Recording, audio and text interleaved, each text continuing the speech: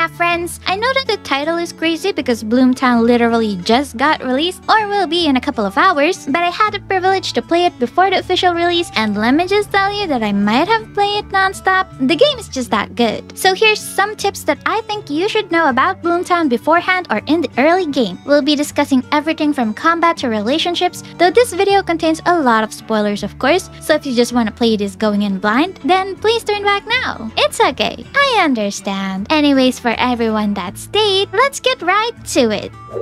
Number 1. Making the most of it. In this game, decisions could cost you money and also potential earnings. That's because we have to take chances and roll the dice. This means if you fail your rules, you'd have a very slightly different route or worse, fail your side quest. And I don't want that to happen to you unless you're masochistic or apathetic about it. So in order to avoid that from happening, what you want to do is to raise your charm first. And also one point on smarts should be enough. This is because the earliest rolls in games are charm rolls, which then helps you gain experience on other stats. Charm basically carries us in the first one hour of the game because successful rolls on this will give you free money and items. And you gotta know that leveling your charm also levels your smarts along the way. Oh, and by the way, if you want to reduce something something because you fail a roll or an answer, then you have the option to um, sort of cheat by reloading your save. Moving on. Number 2. Leveling your personality stats. Now here's a bigger reason why charm is so important in the early game. Other than getting free cash and items, charm is like the hardest stat to level because it can only be leveled through conversations in the early game. Oh, but you can also level your charm by watering Ramona's flowers. Smarts on the other hand can also be leveled through charm rolls, but the easier method is just by reading books or answering crossword puzzles. For proficiency, this one is so easy to max out, you can do it without even trying. You can gain proficiency from crafting, cooking, and farming. And the fastest way to level this is by fishing and then cooking the fish that you just caught. That's pretty much it. And don't worry about guts because it can be leveled on the second half of the game at Joe's shooting range. Number 3. Better equipment. While Treasure Chest gives a lot of nice equipment and the pawn shop sells a few good ones for a decent price, I personally like buying from the TV shop. Once a week, you can buy from this shop by interacting with the TV when it's on and they will give you a list of 3 items which you can only choose one from. And if you keep waiting until the last item, you would lose your chance to buy it all and also no turnbacks. Of course, unless you reload your game and do it over again. But if you do that, the list of items for sale will also be randomized. I personally like to buy accessories in here in the early game though. And if you don't have enough money, don't worry because you can still go out and work at Mr. Lovely's or sell some stuffs at the pawn shop because the TV shop is available for a whole day. Number 4. Hangouts. Earlier we talked about personality stats, but what about anything that concerns combat? There are two things for combat that you should be improving, and one of them is by unlocking passive traits. And believe me, this will save your bum a couple of times. So what you want to do is to hang out with your friends once a day. Hugo can only be invited at home, Chester can be invited by knocking at his room's door, Ramona would be at her house, and Ruth at her shop. This is basically just a side story cutscene where we get to know more about these children. The great thing about this is that after each cutscene, we would unlock their individual passive traits, so don't forget to hang out with your friends. Number 5. Subdue. Now another way to increase your combat stats other than by leveling up is actually by equipping demons. Yep, I know that sounds wrong, but you heard me correctly. You can actually capture demons by subduing them, in which all demons should be downed. It's a bit difficult to do this when there are multiple demons, since they have different weaknesses, so just isolate the one that you want to catch, and make sure to use an elemental attack that they are weak against. You would want to capture as much demons as you can in order to fuse them and level your main demons, because equipping demons will reflect their stats to yours, and you can even use their skills too.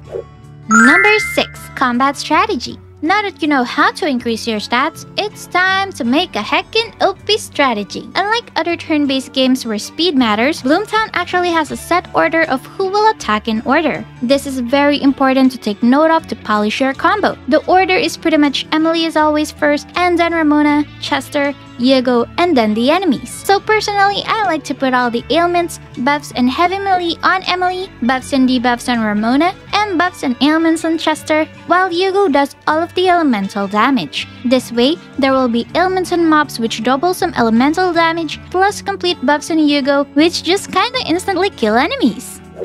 Number 7. Time management. Time in Bloomtown isn't too fast, but doing activities will surely eat your time away. So some of y'all might get stressed on when you should go back to the underside. But hey, did you know that it's best to go there on evenings? The underside is open 24/7 through your telephone and coming back from it always ends at 9:30 p.m. Whether you went there at 9 a.m. or 9 p.m., you're still coming back on 9:30 in the evening, regardless of whether you stayed on the underside for 5 minutes or 5 hours, which means that the best to go to the underside is when you're all done with all of your tasks for the day. So you can just take your time to work at Mr. Lovely's, explore, hang out with friends, watch a movie, exercise, read a book, and even craft. And then go to the underside, and when you get back, you'd still have 30 minutes to cook, craft, or even read a book.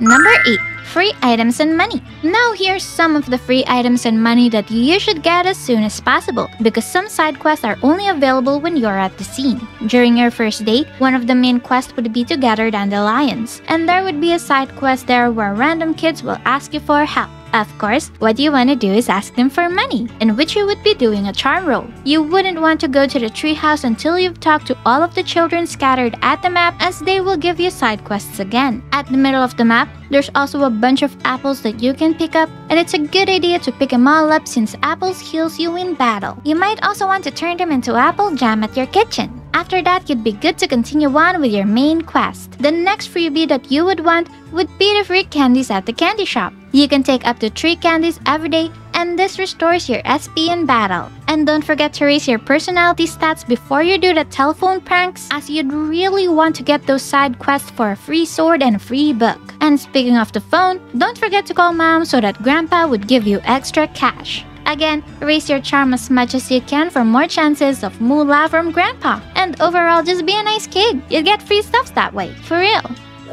Number 9. Food. In terms of farming and cooking, I usually just cook vegetable stew and licorice candy. The stew restores 70% HP while the candy restores full SP. And honestly, all you need for those dishes are tomato and cabbage for the stew and sugarcane and licorice for the candy. You'll be needing more SP regeneration food compared to HP ones, so don't forget to buy seeds at the plant house as soon as possible. The best part about Bloomtown farming though is that you can get the seeds back for every harvest, so that means that you wouldn't need to buy a lot of seeds or go back and forth to the plant house as long as you take care of your crops every day. So the best way to do this is to buy 2 tomato seeds, 2 cabbage seeds, 9 sugarcane seeds, and 3 licorice seeds. And don't forget to water them every day or else they will die and you won't get anything. Well, but that's about it, folks. I really hope that you would like Bloomtown as much as I did, and don't forget to like and subscribe for more Bloomtown guides coming your way. Thank you again to my lovely channel members as always, and I will see you all next week.